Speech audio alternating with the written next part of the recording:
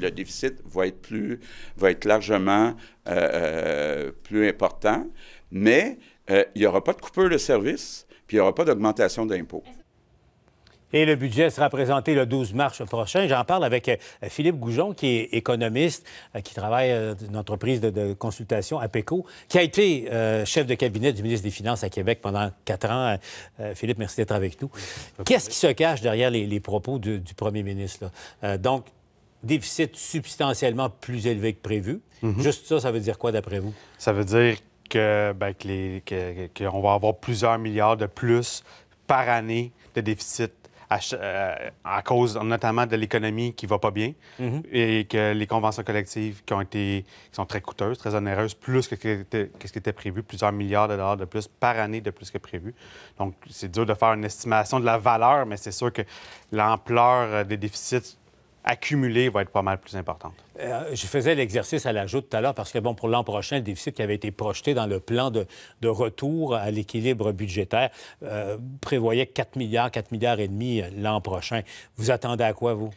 Ah, c'est toujours bonne question. Hein? c'est une bonne question. Question à 10 milliards? non, moins que ça, je crois, quand même. Parce que on, s'entend, l'année était presque finie. Il y avait estimé à 4 milliards. Les prévisions économiques qu'il avait faites étaient quand même relativement conservatrices.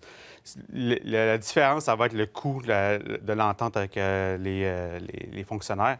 Donc, je dirais 5 milliards, peut-être un peu plus, mais pas jusqu'à 10. OK, parce que là, faites attention, là, parce que les syndicats vont peut-être dire que vous, vous, les, présentez comme les boucs émissaires. C'est pas ce que je veux dire, c'est la valeur de l'entente, c'est ça. On peut pas la cacher non plus. Ce qu'on dit à Québec, c'est 3 milliards et demi de plus que ce qui avait été projeté, euh, le coût. Euh, c'est ça, mais on est plus proche finalement de 7 milliards. 7 milliards. Oui, parce qu'il était à 4 milliards de prévu. À cela, il faut ajouter aussi la conjoncture. Il y a moins d'entrée de fonds parce que l'économie euh, roule, au, ralenti.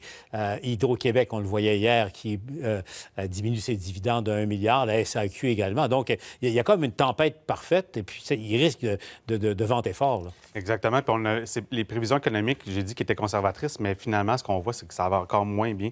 Ça n'a sûrement pas été un budget facile à faire pour le ministre parce qu'en en plus, le contexte économique est difficile, en, euh, dis, politique est difficile pour la CAQ. Puis ils veulent absolument pas se faire taxer d'austérité. L'étiquette ah d'austérité, ils n'en veulent pas. Donc, Comment avoir moins de revenus, plus de dépenses, puis pas faire l'austérité, c'est ben, reporté les clés budgétaires. Ça va être ça la solution. Ça va être ça. Mais bon, euh, on dit qu'on va prioriser les deux grandes missions du gouvernement, l'éducation et la santé, mais juste ça, c'est 80% et plus du budget qui part. Ce qui veut dire qu'il risque d'y avoir euh, des, des, des, réductions, enfin des, décisions qui seront difficiles dans d'autres missions de d'autres ministères. Bien, c'est inévitable parce que, évidemment, en reportant le retour à l'équilibre budgétaire, ça va être plus facile de ne pas trop couper.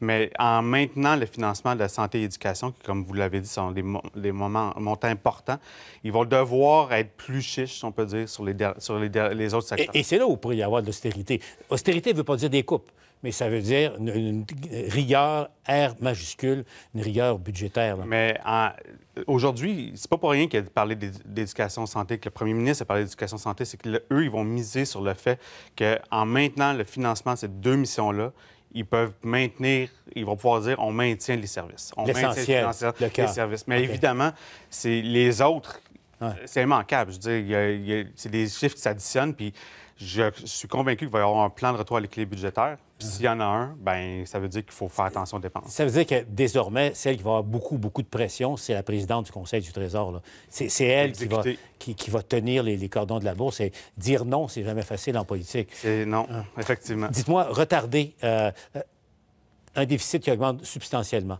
et retarder le retour à, l'équilibre, est-ce que le Québec risque une décote?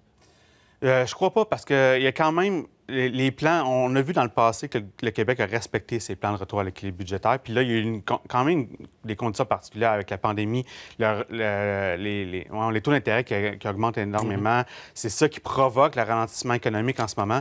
Donc, c'est certain que les agences de cotation sont capables de constater la situation. Il y a une marge de manœuvre, vous pensez? Un peu quand même, mais il ne faut, pas ah. faut pas que les tire trop, parce qu'effectivement, à un moment donné, en même temps aussi, il va y avoir d'autres budgets, puis à chaque budget, il y a des nouvelles annonces. Donc, ils sont pas...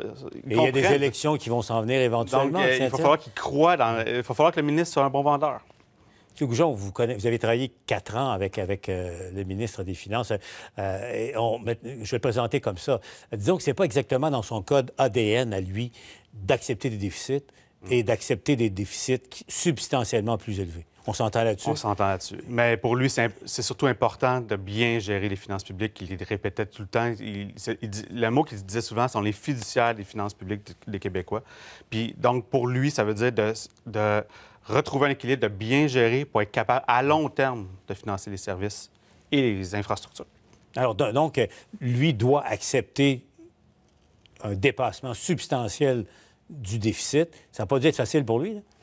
Non, ça n'a pas dû être facile. Mais en même temps, en politique, des fois, il y a des situations comme ça qui se présentent. Puis je pense que ça aurait été encore plus difficile pour lui et pour le gouvernement de ne pas signer les conventions collectives. Je pense que dans les circonstances, c'était probablement le meilleur scénario. On, entendait, on entend, j'ai entendu que euh, dans, le cœur des négociations, M. Gérard s'est fait serrer l'oreille. Il ne voulait pas, il ne consentir autant au syndicat, et c'est le premier ministre qui, a, fait l'arbitrage final qui, l'a imposé. Bien, c'est le premier ministre. Il effectivement, c'est pas, C'est quelque chose de plausible, ça? Tout à fait. C'est tout, tout, à fait parce que c'est le premier ministre qui décide. Puis à un moment donné, le ministre des Finances a présenté les, les conséquences de ses choix. Mhm. Puis il a dit on va devoir apporter l'équilibre budgétaire. C'est sûr qu'il a dit ça à un moment donné. Puis le premier ministre dit oui, mais moi, je veux, m'entendre.